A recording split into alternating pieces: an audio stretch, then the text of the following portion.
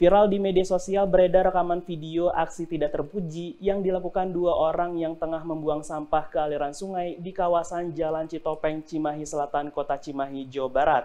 Dalam video tersebut terlihat dua orang secara bertahap melemparkan sampah terbungkus kantung kresek yang diangkut menggunakan gerobak ke aliran sungai.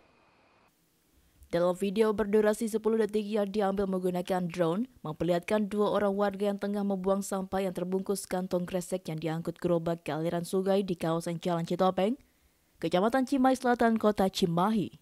Menurut Ketua RW setempat, aksi buang sampah sembarangan tersebut ke Sungai Citopeng sudah dipantau sejak 25 Agustus sampai akhirnya viral di media sosial beberapa hari lalu. Sampah yang dibuang bukan dari sampah warga setempat, melainkan dari warga RW 3 RW 4, RW 7, dan RW 8 yang bertentangan dengan RW 1. Kalau ini kan udah dari dipantau dari tanggal 25 kemarin. Nah, kemudian tadi kemarin sore sudah ada di ini media sosial. media sosial. Sedangkan saya sebagai RW selama lima hari kerja pilah-pilah sampah di itu di RW di RT 2, 3, 4 Nah, sementara di sini kan nggak kontrol. Nah itu pada maghrib ngebuangnya. Padahal nggak udah nggak pernah ditekankan sama warga di sini, tapi ya namanya warga ya yang anak-anak yang ngambilnya bukan dari RW 1 sampahnya.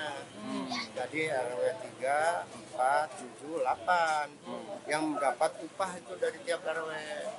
Warganya mereka dari sana dari seberang sana uh, Cijerah itu masuknya bukan RW 01 sebenarnya yang karena karena yang yang ada di foto itu.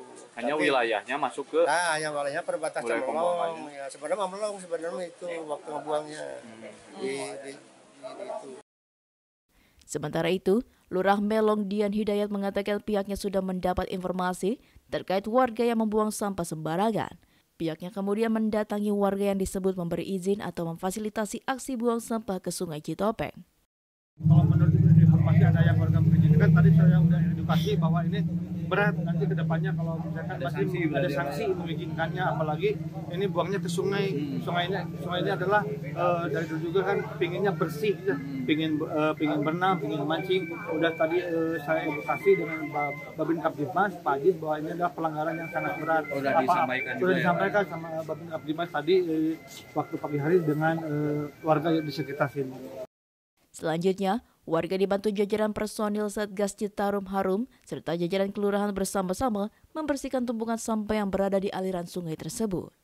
Setelah diangkut, sampah tersebut akan diolah di sektor 7 Citarum Harum, Kabupaten Bandung.